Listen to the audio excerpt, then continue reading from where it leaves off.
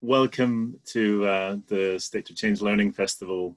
Um, I'm very excited, particularly now after hearing this song uh, as an intro for the session, uh, to welcome you all um, to, to, the session on innovation in, in portfolios um, that the Mikael and Ina will be, be hosting in, in a second. I'm just here to um, to do a quick quick welcome uh, and and maybe share one thought um, uh, on uh, the importance of this topic. Um, this is this is something we obviously have three stages uh, at, at, the festival, and one of them is particularly focusing on the sort of machinery uh, or the structures.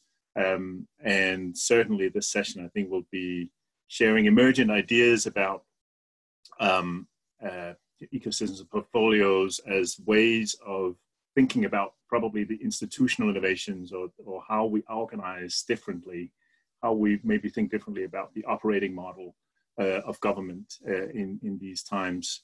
Um, so I'm really looking forward to hearing from, uh, from uh, our two speakers today. So we have, uh, we're lucky to have Mikael Seppälä, who's a specialist uh, from Sitra. so Mikael works with helping organizations adopt innovation portfolios and strengthening their capacities in systems change. Uh, and also we have Ina Olinki, who's the Chief Innovation Officer at the Smart and Clean Foundation, Sweden. And Ina helped develops Foundation's approach to orchestrate ecosystems and, and create innovations from that approach. So, so without further ado, I'll, I'll, I'll uh, let them both explain the meaning of the song, um, uh, and as well as uh, kind of describe their work uh, and what they're doing in the session today. The only thing I got from the song, Mikael, was um, vi skal kæmpe med alt, hvad vi har, uh, uh, which is a Danish translation of something like we, we have to fight with all that we have, all, all that we got. So um, hopefully you can do that as well. I'll, I'll, I'll kick it over to you. Thanks for, for taking charge of the session. Yeah, thanks, Jesper, and welcome everybody to our session. So, uh, if you're still wondering where you are at the session that we're in, so uh, in this session, we're going to be talking about uh, innovation ecosystems for transformation. And um, I'm going to be talking about the, the process that we've been, we've been working on at Sitra with a bunch of Finnish organizations. And Ina will be focusing on uh, the work that the Smart and, the Smart and Clean Foundation here in the Helsinki metropolitan area uh, uh are doing and what, how they're orchestrating an ecosystem of players around sustainability and uh, sustainability and circular economy topics. And here's an overview of our session. So we have about one and a half half hours, and um, and we're going to be starting off with um, some intros between you guys. So so it's always fun to uh, get an idea of who's in the talk. As following those uh, five minute intros, uh, I'm going to be giving my presentation on on the general frame for uh, this this session, and then we'll have about 10 minutes for actions and questions and answers and comments. And after that, we're going to be having Ina speaking about um, building impactful systems change projects for about 15 minutes as well. And again, another 10 minutes for questions and answers and comments and otherwise. And for those of you who are uh, more focused on hearing the presentations and don't want to necessarily uh, network with other people, we're going to be having a break after that that for five minutes and you can leave. But if you want to continue the discussion with us and and the other people on the on this on this international call, we'll, we'd like to invite you to join join a general discussion around these multi-stakeholder collaboration and and how, how we could uh, work on transformation a little bit better better related to that. And at four o'clock, we're going to be ending the session. So uh, like I was saying, just a while ago, we'd like to now um, put you into these breakout rooms with, a, with two to three people and have you uh, meet, meet the people who are online on this call and uh, have a discussion about who you are and what's your relationship to the topic. So if James, you could um, put us into those breakout rooms for a while, that would be really nice.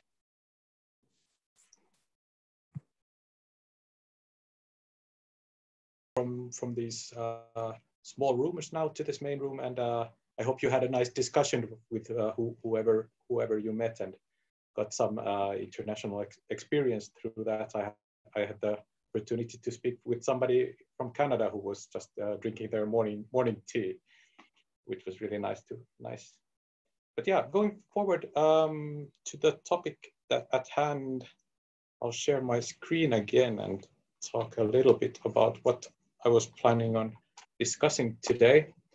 Um, so yeah, so so the topic of uh, today's session is uh, orchestrating innovation ecosystems for uh, transformation, and um, and like the learning festival is framed around uh, new ideas that that uh, we hope to spark spark inspiration around. Um, I think this topic of um, discussion using using and um, looking at innovation ecosystems as um, ways of organizing for to to make transition uh, transformation. I think that's a really important discussion and the relationship of portfolio innovation portfolios in that context is uh, also some a connection I'd like to help uh, make in this session.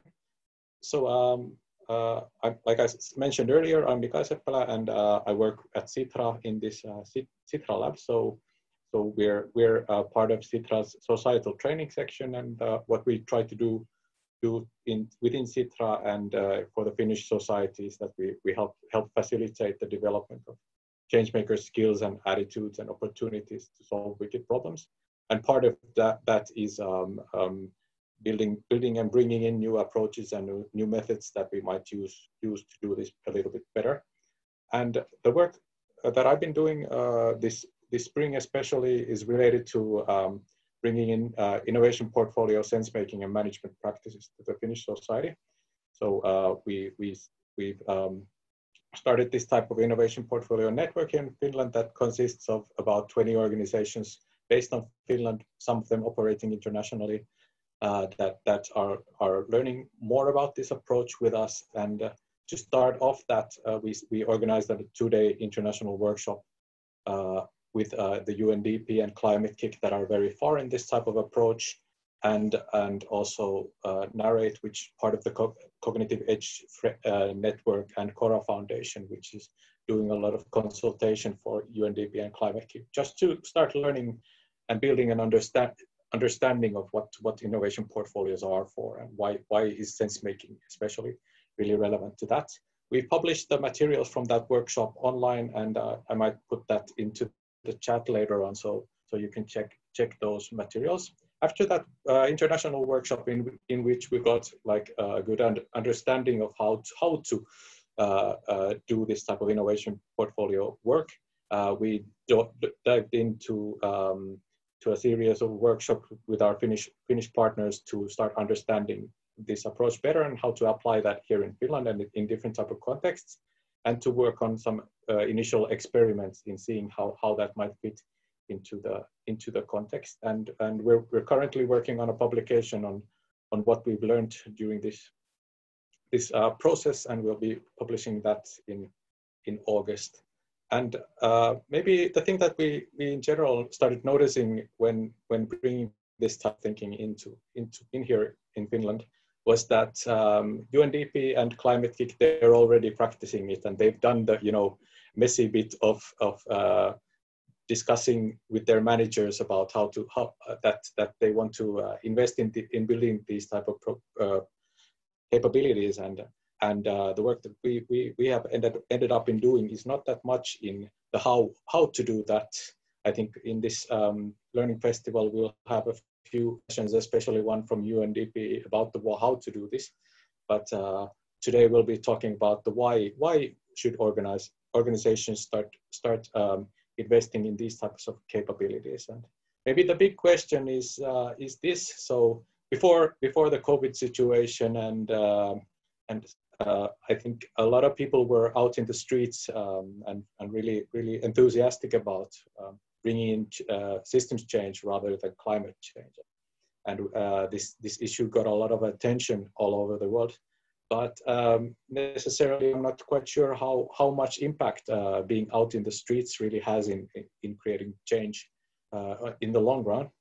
So, so uh, that maybe the question is that because you can't really Google answers to these types of wicked problems because there are you know multiple stakeholders involved and the relationships of uh, between the different type of stakeholders create uh, constant change. And then we also have like multiple scales and perspectives related that uh, necessarily the the practices that we are good at as organizations and institutions today uh, are not enough to solve these problems that we're tackling.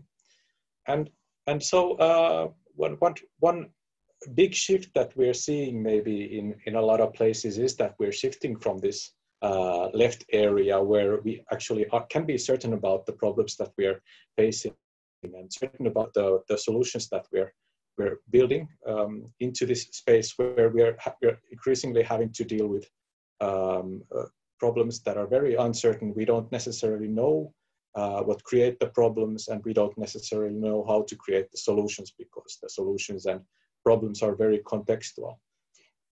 So a good example of like uh, a broad scale problem that, that involves a lot of, lot of different organizations that is a co complicated problem is like building an airplane usually the airplane companies they there's a joke that they they own the software that use, is used to you know plan the airplanes and maybe the glue that glues all the part all the parts together but uh, they they use like hundreds of different um, organizations collaborating around them to to build an airplane that that in no that that should be so safe that in no situation uh, it, it should fall down from the sky and that a technical narrow scale problem might be like rolling out new application in your organization, which is pretty straightforward. So you install the application on everybody's computer and then, then uh, maybe support the people in learning how to use it.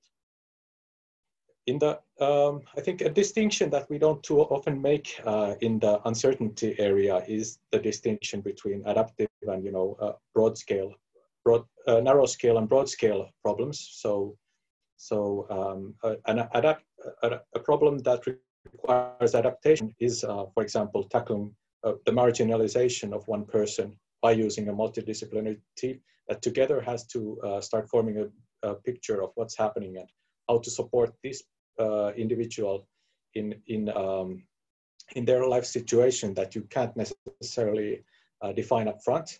But a complex problem that is broad scale that we are not necessarily really, really good at currently is um, similar to these adaptive problems, except that you have so many players that, that probably have never, never met, met each other that it's really difficult to bring them all together and uh, recycling all the plastic in a city that Ina will be talking about later on might be a good, good example of a broad scale problem that uh, is is uh, uh more difficult than the narrow scale uncertain problem.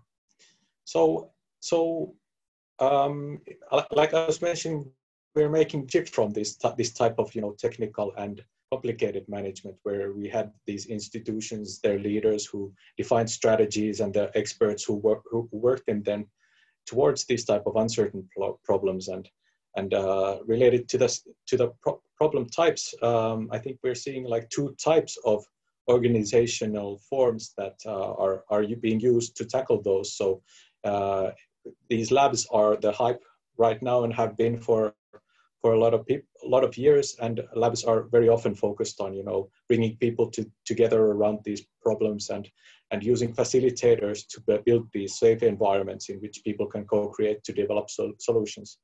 But um, when you have a like complex problem in which you have a lot of different type of players you you need to start building capabilities in which you are able to orchestrate different type of labs, different type of efforts, and uh, weave together, you know, different type of uh, networks and build long-term collaboration between these parties so that together they can start solving these problems. And, and um, one question or provocation that I'd like to make in this session is that will, will these labs grow up to become innovation ecosystems at, at some point?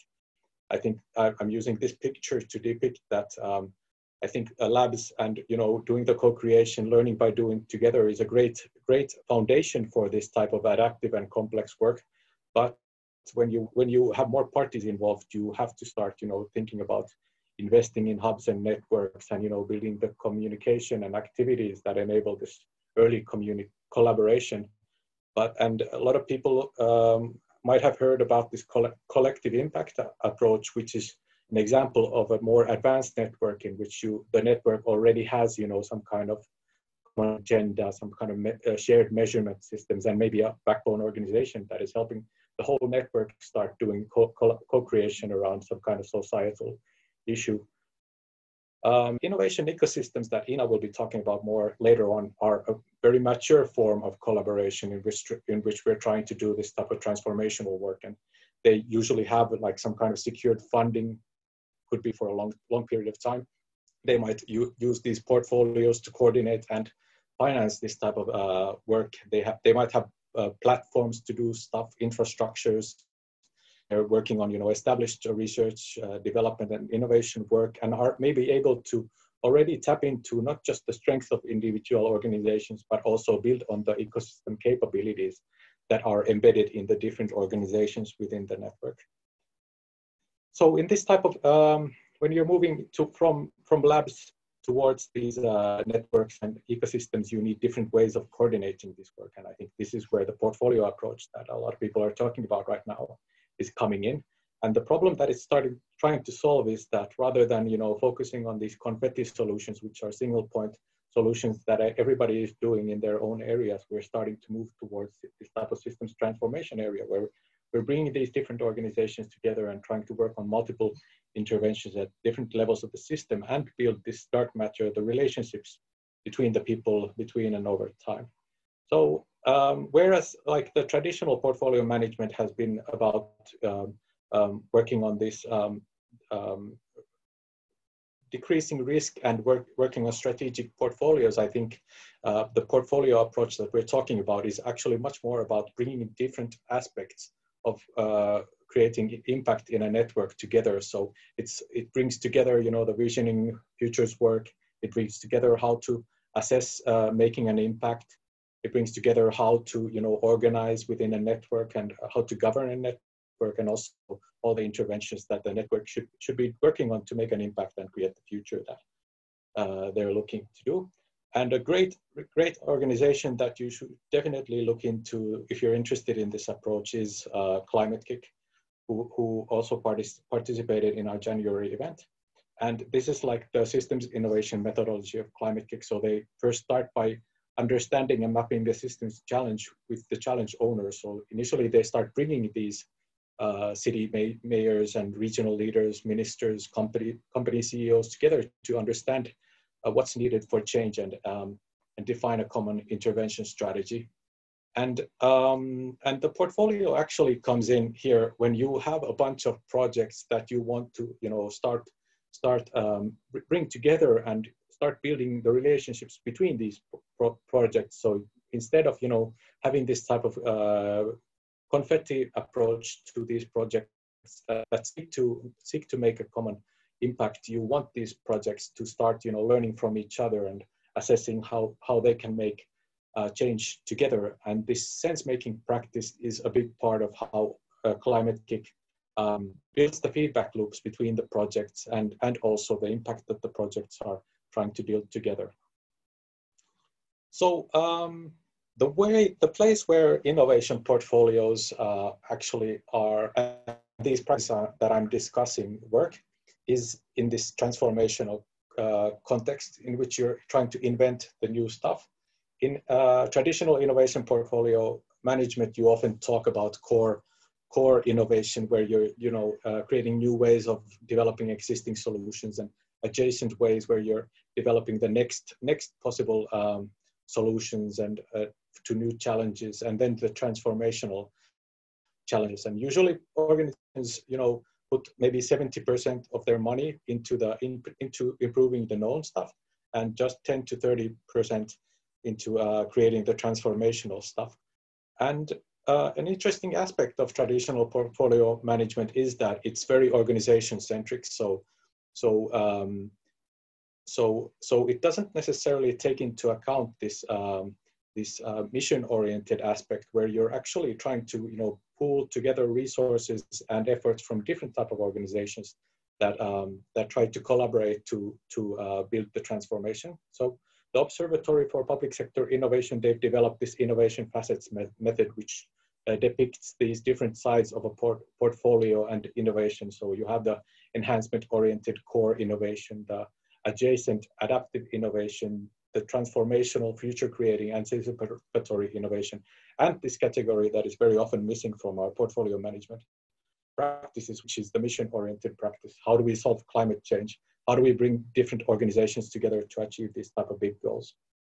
So uh, you could make a comparison between a different type of uh, portfolio approaches. Uh, you could look at this type of strategic portfolio management that is organization centric and, and contrast that to the innovation portfolio sense making and management practices. And you can see that the strategic portfolio management is focused a lot on executing strategies through programs and whereas the innovation portfolio sense making management is actually building the uh, foundations for ecosystemic collaboration that could uh, create create change. And also, like in terms of what I was talking about, the scale and scope uh, previously, the, the the the players and actors in this strategic portfolio management are often teams and organizations, whereas in this innovation portfolio sense making management, you're trying to build ecosystemic capabilities. And one thing to note here is uh, the the role of projects. So in the strategic portfolio management, you make the plan, then you finance it, and then you execute it. And in this innovation portfolio sense making and management context, you're trying to um, use projects and uh, experiments as experimental means of learning and about and how to tackle the problem. And this also has an implication on the time span. So usually planning and budgeting define time spans by which we operate. And uh, when you when you try to achieve societal transformation or global transformation, you want to focus on the uh, transformation and use that to inform the time spans by which you're organizing. So just to give you an overview of uh, of of these uh, innovation portfolio uh, sense making and management practices, um, in Sitra we're we're doing our first experiments currently just to you know uh, exhibit the value of this type of approach. That's what we're focusing also with our finnish partners. And uh, undp is a step further forward from that. So undp is doing the uh, sense making and intelligence uh, practice. So they're bringing together the different parties related to their uh, their portfolio and helping them learn and adapt over projects so that they would build an understanding. Uh, climate kick is even further than UNDP. So they're doing a lot of portfolio composition work, which means that before uh, they, they are investing in um, bringing together and funding different type of projects that have synergies between each other. And, and a, a step even be, be beyond that, that the Chora Foundation is talking about is this type of portfolio design or portfolio impact, where you're actually designing the impact of the whole, whole portfolio. One thing to note, note here is that if you want to build uh, fully fledged capabilities in this area, you want to take uh, three to five years to do that. And like I was saying, what we're doing at Sitra right now, we're uh, building a shared theory of change. Uh, we're building our portfolio visualization uh, practices and also sense-making practices to help, help build internal collaboration, which is needed to start uh, taking the first steps towards problems such as this. So this concludes my presentation and uh, I'd like to open the floor for a few questions and answers if, if, uh, if you'd like to ask something.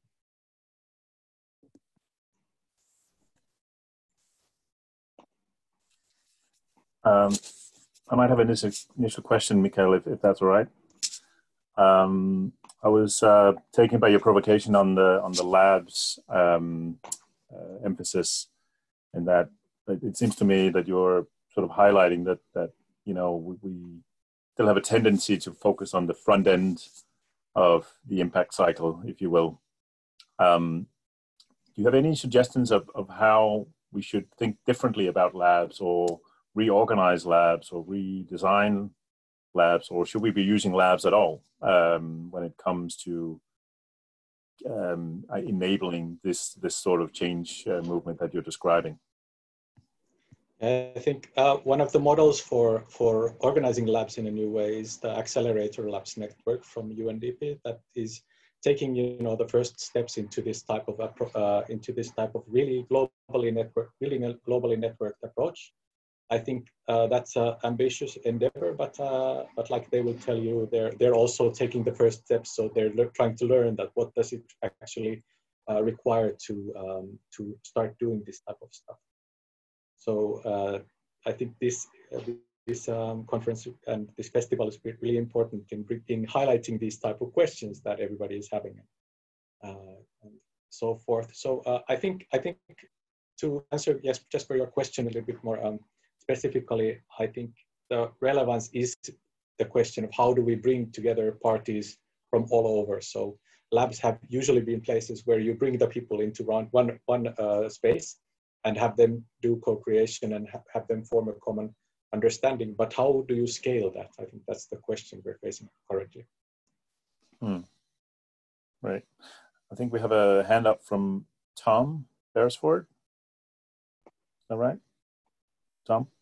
Uh, yeah. Hi, hi everyone. Um, thank you for, for that presentation. Really useful. Um, bit of, bit of very quick background uh, of where I'm coming from. I'm I'm working with an organisation called Dark Matter Labs on some of the deep demonstrations that Climate-KIC have uh, convened. So um, this all uh, is really refreshing to hear lots of people talking about it and and um, coming together around it. One of the things that we've learned is that it takes a lot to shift people's mindsets towards this quite you know sophisticated and different way of working. And I'm just curious to hear any reflections about, you know, how how that journey has been scaffolded for um, challenge owners who who maybe come from very conventional organizations and backgrounds. How are we shifting mindsets uh, sufficiently to support this type of work? Yeah, I think that's a really great question, and uh, it actually highlights the, uh, the a second capability to go with you know the, the, type of design work. So in design work, we're bringing people together around you know some kind of prototype or some kind of tangible thing that we start building building the relationship around. And I think like when you're bringing starting to build a ecosystem, you need the more traditional facilitation type of type of uh, capabilities in which you are focusing more on you know building the relationships and getting past the uh, logical and obvious thing and going uh, getting deeper into the area of building uh, trust between uh, people and he helping you know the relationships emerge rather than use some kind of uh, tool to bring that out. I know that people who, work at Climate-KIC, they always say that this is really messy work because um, all traditional organizations, they have their own goals. Everybody has maybe their own KPIs that they're trying to follow. And making the shift from that type of world into a world of collaboration is really, really, really difficult. And I think that that's one of the things that um, anybody who wants to engage in building these type of collaborations should also take into account really, um, really um, strongly and start building the really capabilities and using people who, who are really good at that type of stuff.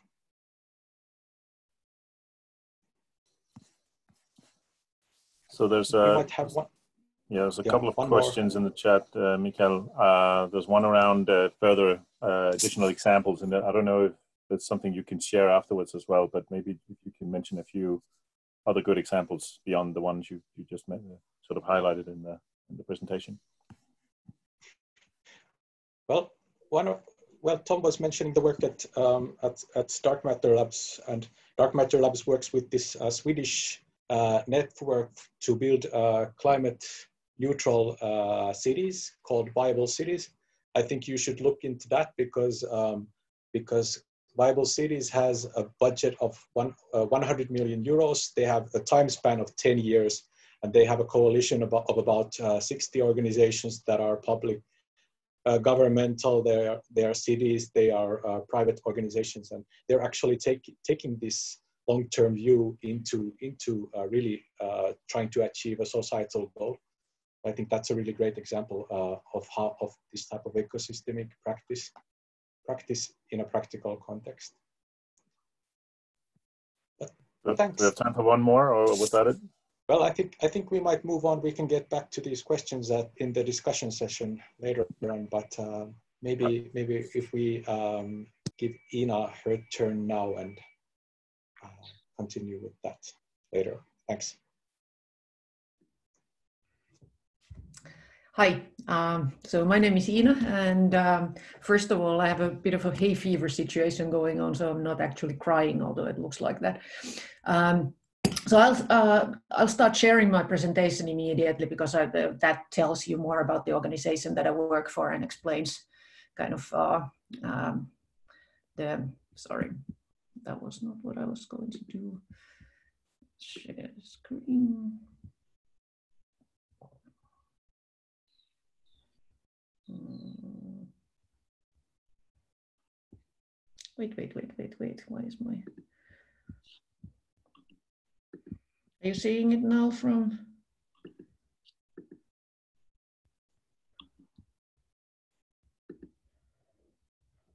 Is this visible now to you? The presentation? Not yet. No. Okay, what's going on with me then? Um, let me go back to.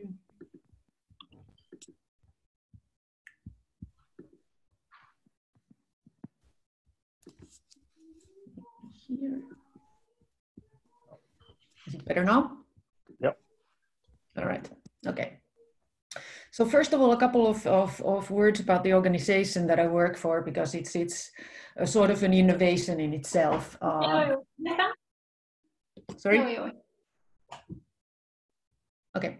Um, so I, I, work for an organization called Smart and Clean Helsinki Metropolitan Foundation.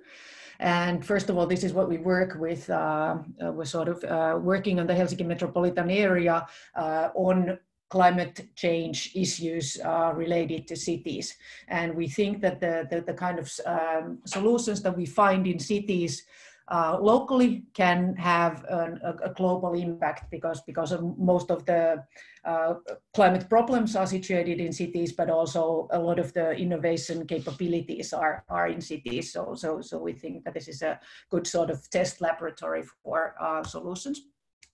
So our foundation is, is um, um, sort of a strange uh, foundation in itself because it's it's only uh, in existence for five years. So we will we've been doing things for four years and we only have one year left.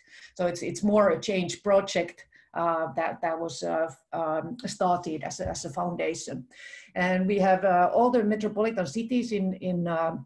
In, in, the Helsinki region as, as partners. Uh, then we have all the universities that are here. We have three ministries and 14 companies. And these are, for those who are not familiar with the Finnish society, these are all pretty big companies. So some of uh, Kone, for example, which is one of the largest elevator companies in the world and, and, and several uh, energy companies and so on. And the idea was in the beginning that, that they all put uh, together um, a, a, sum of money and uh, so, so we got a, a budget of about uh, six million euros for the five-year period.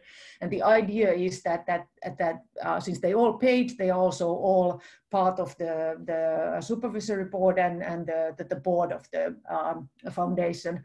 And the idea is that the uh, decisions made about the the kinds of projects that we will be working on will be made by these corporations and and cities and and uh, research institutes together and that's kind of the, the, the, the, first innovation that we've been working on is, is to, to actually have uh, these people who are not on an everyday level talking to each other, uh, now they come together in our board meetings and decide on the climate solutions that we are working on together and and they are usually uh, uh, represented by the highest level of the of the uh, organization. So we have the uh, uh, rectors of the universities, we have the mayors of the cities, and we have the the CEOs or or somewhere around that level from the corporations. So basically, when they make a decision, uh, there's the the actual possibility that this will be implemented in their in the uh, company or, or, organization. And so what our role is, is uh, uh, we so, so this, this kind of public-private model that we've built um, is one thing, and then our um, role is to, to work as an orchestrator, someone who is able to uh, think about the solutions that, that, that, that the climate change needs, and then to, to actually bring together all the people that we, we, we need to, or, all the different organizations that we need in order to, to actually be able to, to come up with the solution. And I'll, I'll walk you through an example of that so you understand better how what we do. But so um, uh, you are probably all familiar with this, but, but this was kind of the uh, sort of starting point for, for the work where we realized that we really need to start making uh, more systemic, bigger uh, solutions because the IPCC GAP report from 2019 pointed that we are on a path to um, um, a 3.3 warming of, of, of climate. And whereas our aim should be 1.5 degrees. So, so we really have to start accelerating the solutions that we come up with, and we really have to start thinking about how to change uh, bigger systems. Uh, so, so kind of the structures of today will become worthless in about uh, 10 years or so from now.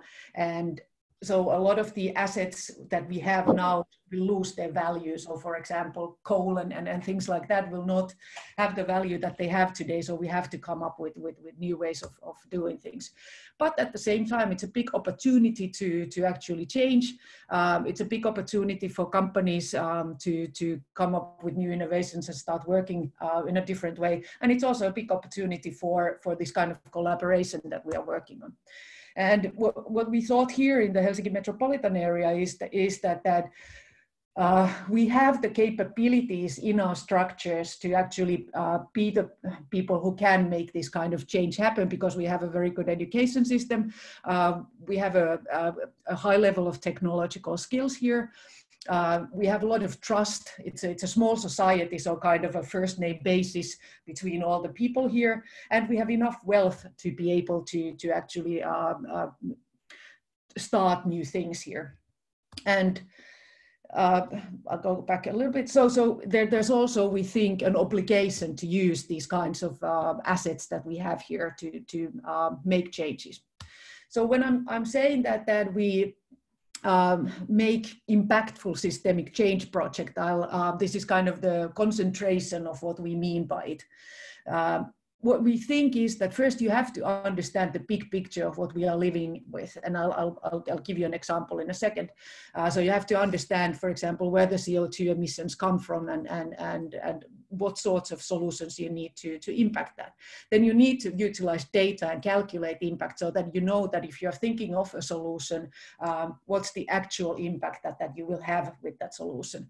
And only after that you should choose your problem. So, so um, this is a little bit different from a uh, kind of a traditional EU funded project, for example, where it, it's more um, uh, thinking about some innovation from from uh, a couple of companies or universities and thinking about that we want to start with the with the problem and and and, and starting to uh, find solutions for that and only after you've chosen uh, the, the, the, right problem, you should think about what the ecosystem is that you need, who are needed in order to make that solution together. You need uh, leadership models to, to uh, make um, it possible for um, these projects to be led. And then, um, like I said, we work as an orchestrator, so we are the ones who will calculate the, or, or, utilize the data and calculate the impact, uh, bring together the people, um, uh, sort of work as the secretary for the leadership models, um, uh, come up with, with, with new uh, partners for the projects and so on. So, so, so kind of like an active, neutral um, actor who, who is able to um, talk to a lot of different people and, and, and, and, and kind of like uh, actively work on bringing the, the, the, the solution um, to realization. Then you need the, the, the solutions that you have, uh, have to utilize real infrastructures and services. So um, the the the um, things that we are thinking about they have to be able to so so for example i'll give you an example of the uh, closed loop plastics pro uh, project that we are working on. So so we have all the biggest uh, waste management companies in the area. We have all the cities and, and thinking about the procurement. We have uh, the the actual industrial partners who run the the um, uh, plants that, that, that are able to recycle plastic and so on.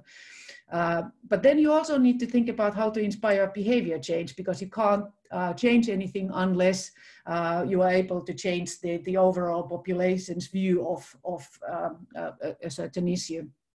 Then you have to influence regulation because sometimes regulation is the fastest way of changing the world. If you say that all plastics have to be recycled, that's going to force all the industries and the cities and so on to, to start working on the solutions. But sometimes it's better to use incentives. So, so uh, that can be a way of, of influencing uh, behavior. And then you also have to think about funding models because uh, most of the funding models that we have, at, at least in Europe, are, are usually used for uh, projects that uh, last two to three years or so. But some changes take a lot longer. So, so it can be 15 years or something. And it, it might have public sector and private sector and universities and, and ministries and so on all working together. And and, and usually you don't have one model that that uh, is able to fund um, that that kind of work. So this is the, the, the sort of the uh, overall picture of, of how we work. Uh, and when I said that, that you have to understand the big picture, this is the CO2 emissions in the Helsinki metropolitan region. And on the left side, where you see the waste management, transport, electricity, and heating, these are the, the, the sector-based emissions that cities are usually working on because these are the emissions that are actually born inside the borders of the city. So when, um, when, when usually when we talk about emissions in a city, we only talk about that part. But there's this whole uh, other area that is consumption-based emissions that can be manifold to the actual um, sector-based emissions. And um, a lot of the times, uh, because these are not emissions that are born inside the city borders, but they are uh, emissions that are born, for example, in China or India or somewhere else where you are uh, um, importing the goods that, that people use for example, a lot of electronics or um, clothes and textiles or, or things like that, uh, you are not thinking about that, that you should also be uh, finding solutions to tackle these uh, emissions. So for example, the city of Helsinki has a plan to be carbon neutral by 2035. And but this only tackles the sector-based emissions, so mobility and heating and energy and, and waste. But even if they are able to do that by 2035, um, the, the problem is that if they don't look at the consumption-based emissions, they will still be, uh, that the people here will still be uh, using goods um, and, and consuming things so that actually their uh, emissions per capita are five times as much as the world can actually uh, live with. So this is the reason why you, why, why you sort of have to think about the big picture and understand what you're talking about. So now I'll give you an, uh, a, a, practical example of how we work. So you are all aware of, of, of plastics being um, a, a, challenge to the world, that there's, there's um, uh, three kinds of problems with it. One is that, that it's um, um throwaway mentality. We don't use many materials like we use plastics, that we use them once and, and, and, we throw them away. Then there's a lot of CO2 emissions coming from plastics, both from the production side and then when it's burned in, in, incinerators and so on. And then the third one is the, the problems with the oceans that, that, that everyone knows about. Uh, this is the, the current picture of, of, of, of uh, virgin plastics that are recycled in the Helsinki metropolitan region. So uh, out of the amount of, of plastics that we use, and even though we all have a, a yellow container in our, in our backyard to uh, collect the, the, the household plastics, only about 6% of the plastics that are collected are turned into new um, uh, recycled plastics material. So, so this was the first thing that we did. We, like I said, we use uh, data to to understand the problem. So, so first we we we had some uh, uh, consultants working on, on, on actually understanding this picture because no one had these figures before we did this. Um, then the second thing we did was we calculated the potential of, of uh, how much of the plastics, if you include the hard plastics that are in toys or shoes or uh, the construction plastics that are used in, in, in building houses and so on, if you would take the maximum uh, or the maximal amount of, of uh, all plastics that could be recycled, it's around uh, 65 to 70 percent. You, get, you will never be able to get it to 100% because some of the plastics are too dirty to be recycled or, or they are too connected to other materials so that you can't take them apart. But if you were able to get to the, uh, the, the, kind of maximal potential of, of recycling, uh, we, we made the calculations that then um, the CO2 emissions from the plastics, just because they are recycled and not burned and, and new, new plastics are not produced somewhere else, uh, we would be able to save the, the um, yearly emissions of approximately 80,000 uh, people in the Helsinki metropolitan area, which is about 8 to 10% of the population here. So this is, um, like I said in the beginning, if you understand the impact of the solutions that you are making, then, then you, you understand that, that actually by making this sort of uh, solution possible, there is a, a, a real impact to the climate. And and so it's worth doing. That's kind of like the, the, the logic that we use when we talk to different partners about this that if you come along this is the end result that we will end up with and then we built a, a model of how uh, this kind of project could be uh, run and and and this is sort of like showing you the um, the possibility of different kinds of, of, of, organizations working together. So if you start from um, about 11 o'clock, um, first of all, you have to start thinking about how to sort and, and, and uh, recycle uh, plastics at home. So, so where do the hard plastics that we are not collecting at the moment, how, how do you figure that out? Um, how do you sort it? How do you recycle? How's the uh, logistics run? how are the construction sites uh, made to uh, collect their plastics or if you take a house down uh, how, how do you collect those plastics from there then you have to think about the industrial processes, so both mechanical and chemical recycling of, of uh, uh, plastics.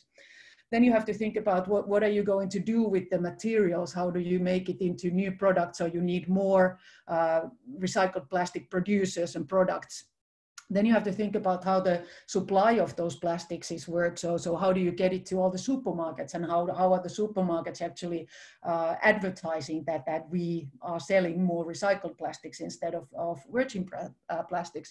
Then you have to think about the behavior change. So, so kind of like changing the demand. So you have to need to have the supply of the new products, uh, but you also need the, the demand from the, the, the people of the city. Um, then, then you also need to think about replacing plastics with other materials. Then you have to think about cities which are huge buyers. Um, how, how can they change their procurement uh, criteria to favor uh, recycled plastics? Then you have to think about how the, the design of the plastics is done, so the eco-design, so, so that they are easier to take apart from other materials and that they are yeah, better to or easier to, to recycle. Um, then you have to think about the regulation and incentives. And, and once you figure out this kind of like the, the, the darker pink uh, circle, uh, only then you start thinking about all the kind of sub projects that you need. So, do we need a design competition for household sorting uh, systems, or uh, how do we get the, the, the, recycled plastics actually into the supermarkets, and, and, and what can they do there, and, and things like that.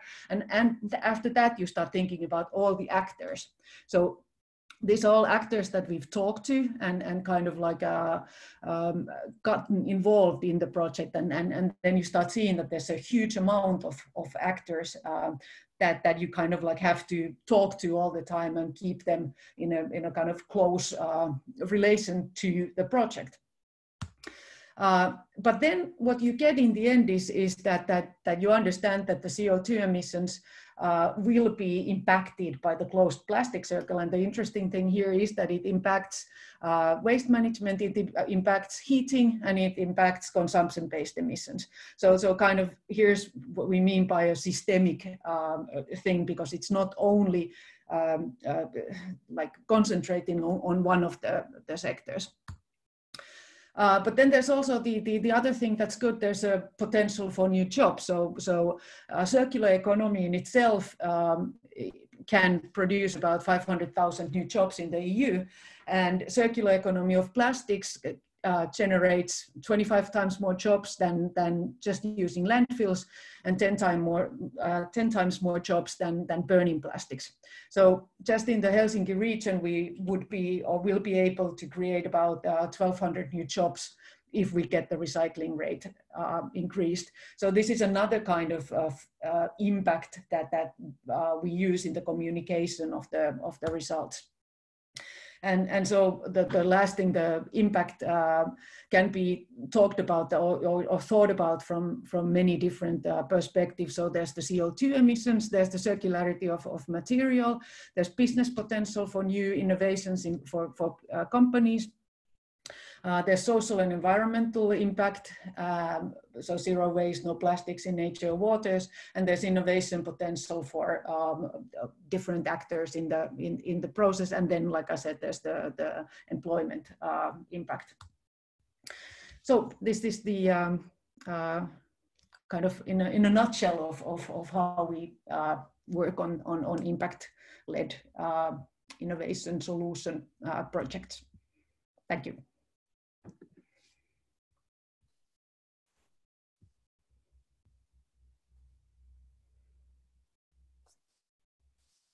So I thought that was incredibly impressive. Um, Mikael, do you want to jump in here or should we take a couple of questions? I think we should take a couple of questions and then see how many of those we have. Um, so there's one from Leah. I don't know, Leah, if you want to elaborate yourself, but you, you were talking about um, at what points the communities and citizens are involved in, in developing and making decisions about these systemic change uh, projects. Um, yeah. um, well, I think that they are involved in, in many processes. First of all, they are um, um, they create the demand for the for the um, for example the recycled plastics products uh, because there, there's quite a lot of awareness of of um, the, the, the the kind of badness of using um, virgin plastics these days. So if there's demand, there will be more supply. Then of course they are they are voters, uh, so they are able to um, have uh, an impact on on how the city, for example, uh, does things, so so that they can change the procurement criteria or or um, how they are saving plastics in the construction sites and so on, or if they have demand for the uh, waste management companies uh, that they want to recycle their toys or their shoes or, or, or other things, uh, then their, the demand will be answered by, by the supply of new services. So I think in, in, in many ways, but, uh, uh but, but we are not ourselves directly talking to you know people as such, but, but it's more like they are uh, part of the process in, in, in different uh, ways. Right.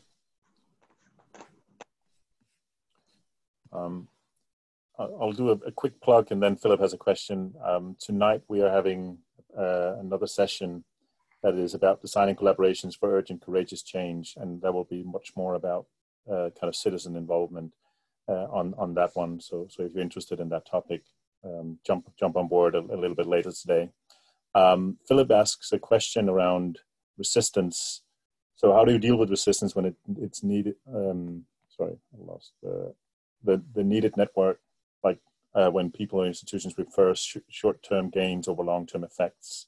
Yeah, well, that is something that that that we have to deal with constantly. Um, that's I, I think that the best way that we've come up with is to actually use these sorts of presentations and these kind of like talking about that hey you know you come here and, and work with us there will be this impact on the climate and there will be this impact on the on the jobs.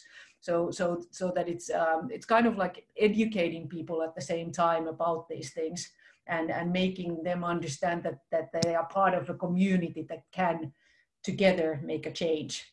And i think that it, it's more from that. So so not just like uh, talking about just one organization like hey maybe you should start doing something with recycled plastics but making them understand that if they are working together the impact is much bigger than what they would be able to do alone.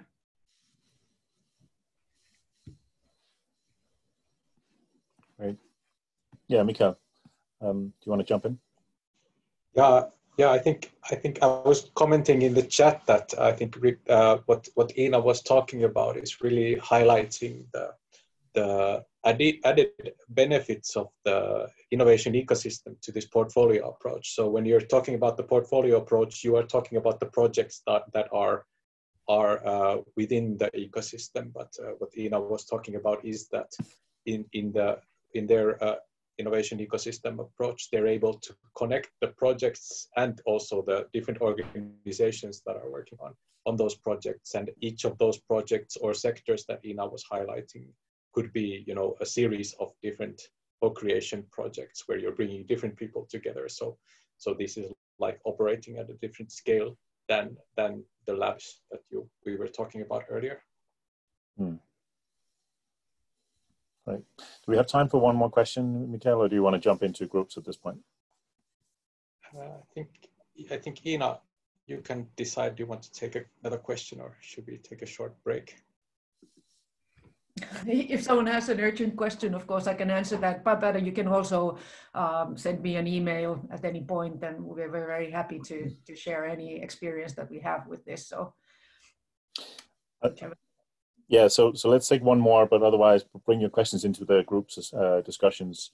Yeah. Um, there's an interesting one here from Marcella um, talking about how this approach would work in a context where the complex problem is not as clear as climate change I mean, you can maybe discuss whether that's clear or not, but but maybe less urgent.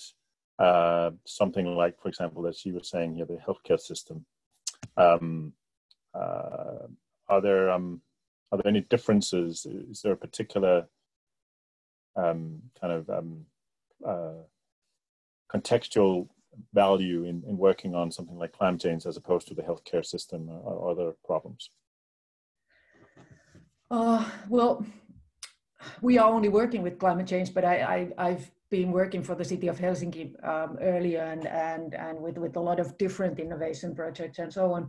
But I think that the, the, the thing is exactly what you said, that there's this sense of urgency with climate change that actually makes it easier for us to, to press on the need to make these solutions. So, so even if we were saying the same things about healthcare, for example, or um, anything else I, I think that there's always this thing yeah but we can you know think about different kinds of ways. But here the sense of urgency uh, makes it better to start working on something that will actually have an impact uh, because you know that there's only a certain amount of time that we have left. And and since it's kind of a global thing it's it's easier to talk to people about that that you know we all and that you should all join and start uh, sharing the solutions that you have. So, so that's another thing that we do. We we talk to a lot of uh, international audiences because we, we want to tell them that this is one approach that we found that we think can work and we are very happy to learn from you so, so it's, it's, it's not a, um, a situation of competition but more of, of like sharing hmm. right thank you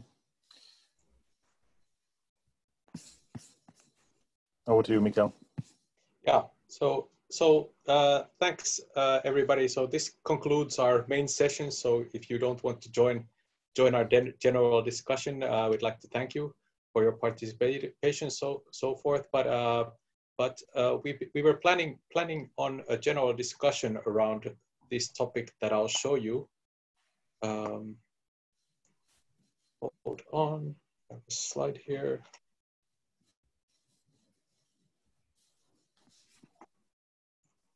So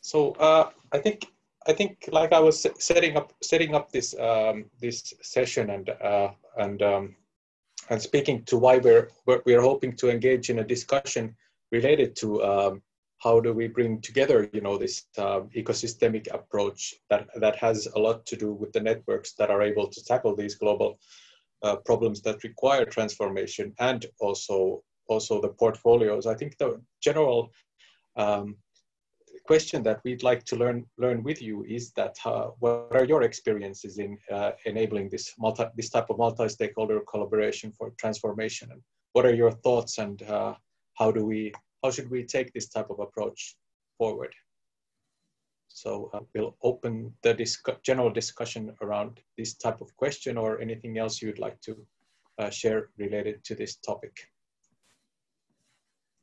And you can post your uh, comments in the chat or, or raise your hand in, in, in the uh, Zoom participants area if you want to want to start and comment on this question?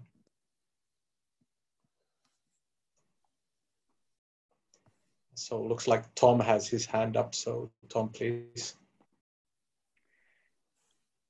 Thank you. Um, thank you everyone who, who's contributed so far. Um, one of the things that feels really uh, challenging but also critical in this type of work is how you renew governance arrangements so that we're not just talking about kind of loose collaborations like we would when we're thinking about networks, but rather are looking at meaningful long-term cooperation um, around what would be a number of different interventions, a number of different experiments, a number of different collective actions.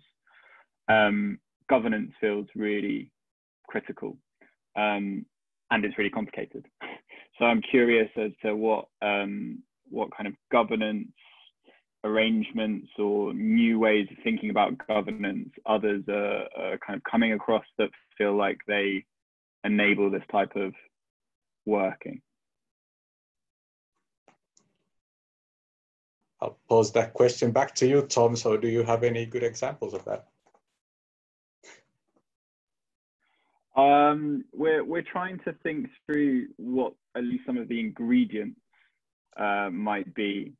So particularly in, in the context of transition. So if we are trying to um, overcome some complex uh, challenges that are related to, to transitions like climate transition or the transition around um, technological disruptions in the labor markets, for example. Um, are there different kinds of governance arrangements that, that need to, um, uh, to, to, to kind of manage that? Um, and a few of the things we've spoken about already, the how do you how do you set big missions that cut across lots of different um, silos uh, and and set goals that a number of different stakeholders are invested in in the long run. Um, but also something slightly more tangible around resourcing. How do you how do you resource collectively resource um, these sorts of um, coordinated uh, efforts? Um, and there's a really big question about how you shift financing models and investment models from very project oriented return on investment kind of logics to ones that um, maybe have some slightly different makeups that that force that long term co-benefits agenda. Um, but this is all really new. Um, it's all really new and conceptual, and we're trying to kind of find ways to, to test those different ingredients out. Um, but uh, you know, curious to hear if others have have explored, you know, what those ingredients might be. I think Patrick might have a thing to say. He's certainly raised his hand.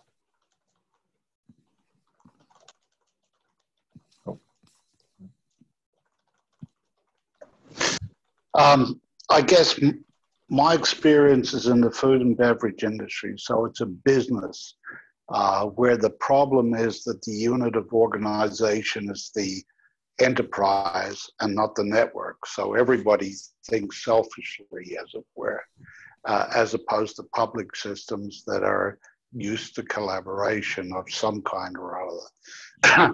but the governance uh, was in finding, mapping the structure, the connection, the interdependent relationships, and then uh, how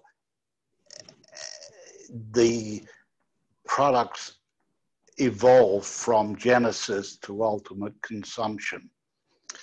The second part of it. Patrick, I think we lost you. You, you we lost your voice. Ah, oh, sorry. Um, let me just go. Oh, we can't hear you. It's a. I think it might be a bandwidth issue. Can you hear me now? Can you?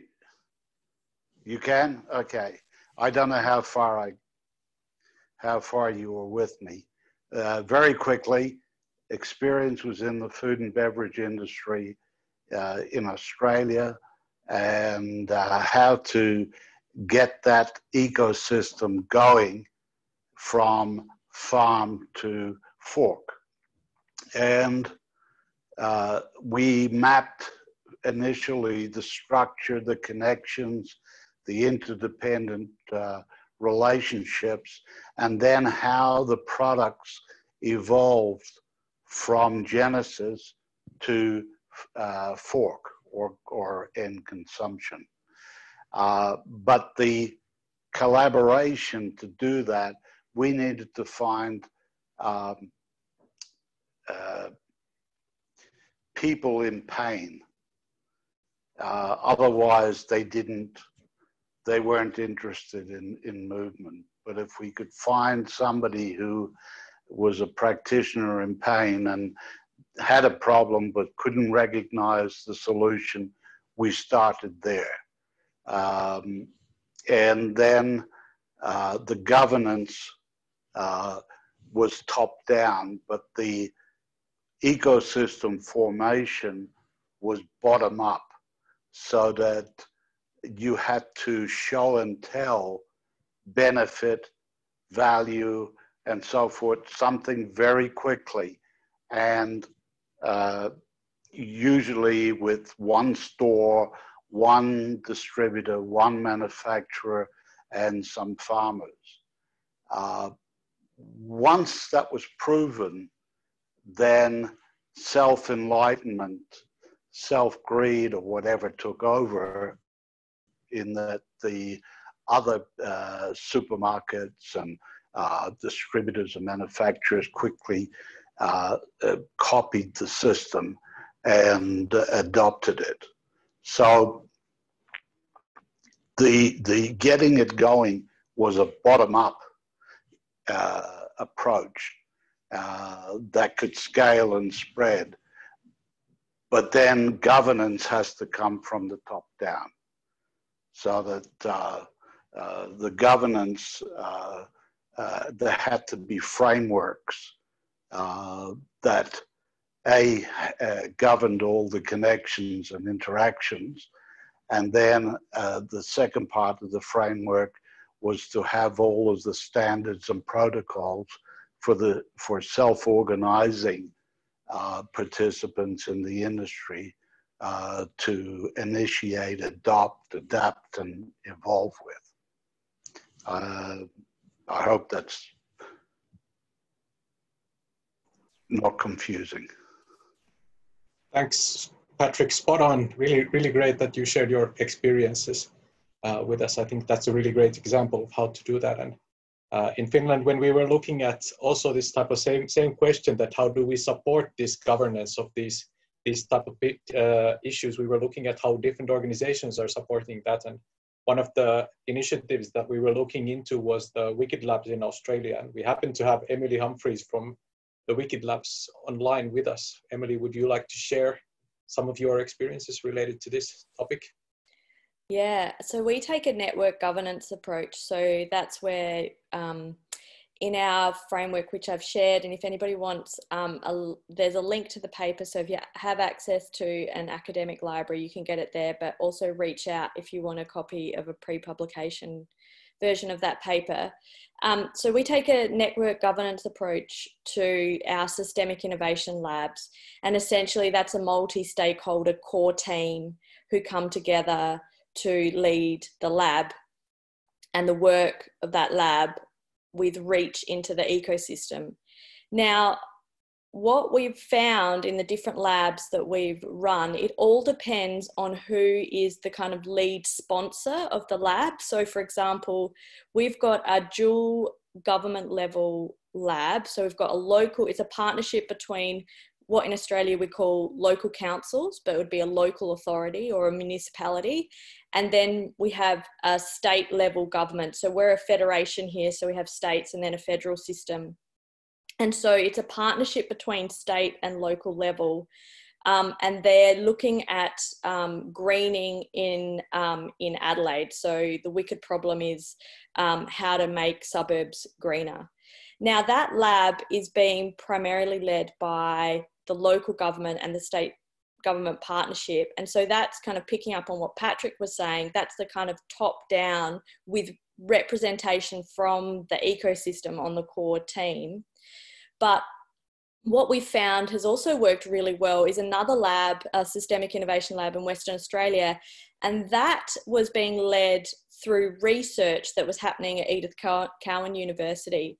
And that was um, a, um, they had a reference committee that sat alongside the kind of core functional team of the lab that had great reach into the ecosystem. So it already had deep connection and a whole lot of trust. So going back to what Patrick was saying, you know, that pain point, it's also what, you know, the what's in it for me in terms of giving over my time to be involved in this. So if there's no real immediate pain or no investment in the problem, then it's hard to get engagement. So we um, would say there's a bit of work to do before the lab, which is a bit of system steward work. And I'm not sure if many people have seen the stuff of um, like Lankelly Chase, which are behaviors for systems change.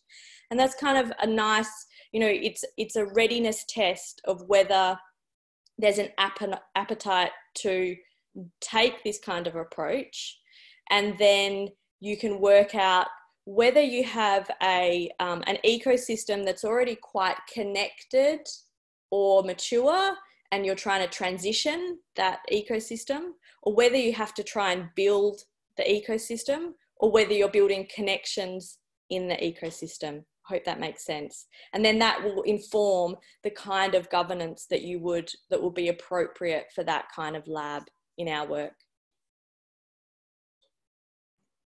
Thanks for sharing. Somebody in the chat uh, asked what the tool is called. So it's Wicked Lab, I guess yeah, I can put a yeah, link in, yeah, yeah, for the tool. But but I think like the question that Tom Tom asked and that we're trying to answer right now is that we we are we should have governance uh, approaches for this that are able to incorporate the funding models, the ways we build trust within between mm. people who we don't who don't necessarily know each other and and uh, how do we have visibility into the different projects that we're, we're working on together so that we can these ecosystems can work together? And and uh, and like a lot of players in this field are saying that this is an emerging practice so we don't really have any established ways of doing this. Um, in the chat there was uh, somebody was mentioning the work that tom uh, tom mitchell from Climate-KIC was uh, working on this. And I, I put a, a link to this webinar we did with uh, Dominic Hofstetter from Climate-KIC. And, and um, they're also very explicit in, uh, in saying that,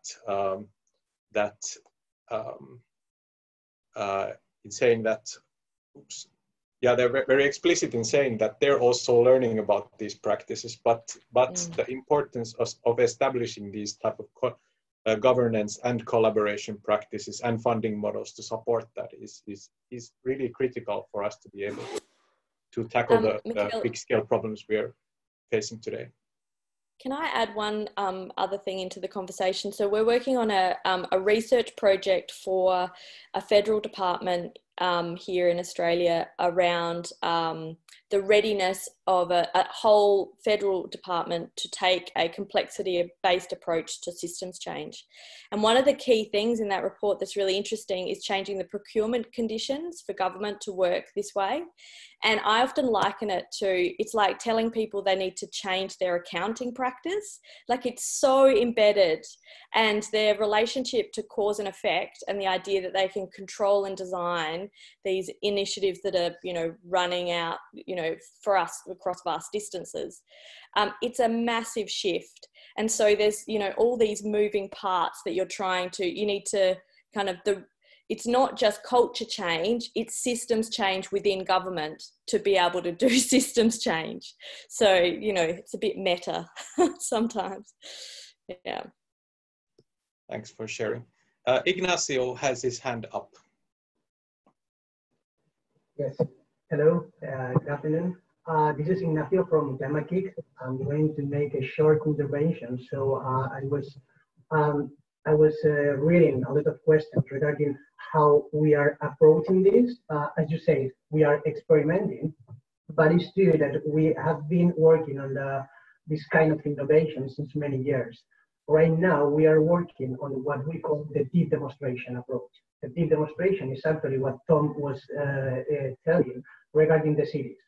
So um, I agree about what Patrick said. I mean, we we are trying to uh, find a level when the bottom up and the top down approaches are, you know, uh, in there. So this means that we want to work with NGOs. We uh, want to work with politicians. We try to put this social engagement, this innovation, innovation policy, this uh, kind of governance. I mean, we try to mix up all these different levels, and we do, for instance, what we call uh, deep listening. Deep listening is to understand really what is happening in the uh, region, in the city, in the place. Uh, on the deep demonstration, we have like eight uh, different ones that we are uh, working right now. One is uh, one is in the maritime sector, for instance. So in the maritime, you have to listen the workers that are there, but also the big companies and also the, the, the logistics. I mean, if you think about the whole value chain, you realize how many people are interacting on the same level. So somehow the port at the end is like a city itself, right? It has citizens that are all the time in there, and those voices has to be heard as well. That's why we are trying to uh, compile everything uh, through a stakeholder mapping and later with uh, a lot of events that we want to hear all voices. So later for these complex projects, you will uh, not uh, be the winner, but somehow you will reach what you are trying to get. But of course, this is a lot of iteration during the whole journey. So I mean, it's about monitor, it's about evaluation, it's about learning, and again, you are iterating and iterating again and again. I think I think you're Ignacio touching upon like one big shift in this type of thinking. So I was referring to the time spans in my presentation, and you can't you know fit uh, this type of discussions that Ignacio is uh, is uh, describing into two-hour meetings. It, the change doesn't happen at that scale, so you need to take a lot of time. And what I understand from the Climate-KIC uh, approach and what the work that UNDP is doing is that they take four days to start building the, the common understanding between the people. So that's an aspect to uh, uh, take into consideration. Mikkel, could I just jump in quickly and say there's a very entertaining uh, thing on Netflix uh, if you want to see massive change. And it's called The Black Godfather. Um, and it's a guy who changed the whole music industry. And at one point, he had all the stakeholders around the table, and each of them asked, answered what they were doing there. Until finally, somebody turned to this guy, Clarence Avant, and said, Who are you and who are you representing? And the guys from the record company said, all of us.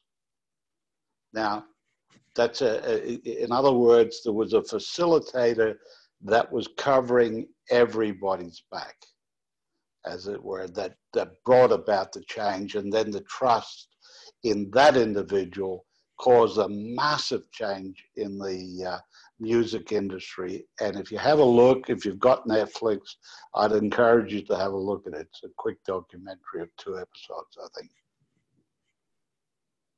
Thanks. Sounds great. Uh, hey, one question because like I never I, I find all of this type of cool people on Twitter and in meetings like this, but I don't really have an understanding of how how uh, spread this is all through the uh, globe. So Jesper, I think going back to states of change and you have this global perspective into innovation. How how what is happening and how uh, broad, broadly spread is this type of thing that we're talking about today? Well, I won't be able to answer that question, Mikhail, but but I guess just looking at who's in the session, certainly it, it looks like a really global spread, and so it's probably the most global session we've had so far in the in the uh, in the in the festival. So from that angle, there seems to be at least from a curiosity standpoint, a lot grooming uh, around this. Um, but I, but I wouldn't be able to, to say like I've mainly uh, I'm familiar with with the work that, that that you already kind of mentioned uh, and those sort of pockets in Scandinavia and in North America and, and, and, a few places elsewhere. So, so, um, uh, so yeah, I, will pass that question over to you. But, um, but I'm mindful of time as well, Mikael. Do, do you have some final wrap up uh, comments? Yeah, uh, I think I think the final wrap up comment is is exactly what Jesper was saying. That this is an emerging practice that that is really relevant for us us as a globe to and institutions and organizations to start start uh, handling and uh, and uh, and thank you everybody for participating. It was great to see so many people from different time zones. So we had somebody somebody from Canada and uh, Emily from Australia and others others from between those those those different areas. And thank you, Ina, for your awesome mm-hmm. presentation about the practical practical work that you're doing in this. Thank you. Area. Thanks so, yeah. And thanks for organizing this. And thanks, mm-hmm. Jesper, James, and everybody for organizing this. It was really fun, fun chat, and to get so many perspectives related to this topic, I think that's really valuable in building the field.